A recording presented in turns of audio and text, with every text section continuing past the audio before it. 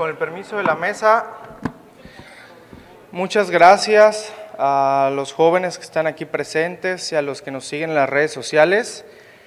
Quiero empezar comentando que en lo privado he platicado con varios diputados que hoy hicieron uso de la voz sobre una iniciativa que presenté el 13 de octubre con mi compañero Chanito Toledo.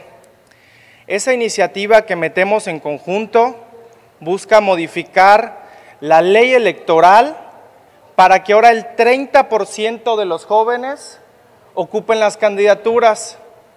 Y en lo privado, muchos diputados que hoy defendieron a los jóvenes me dijeron que estaba muy mal esa iniciativa, porque a muchos jóvenes todavía nos falta.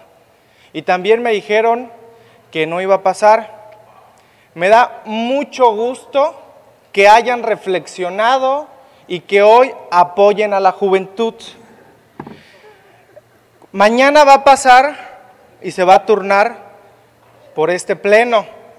Entonces, espero y esperamos su congruencia. Y me da mucho gusto que ahora sí apoyen a la juventud. Es cuanto.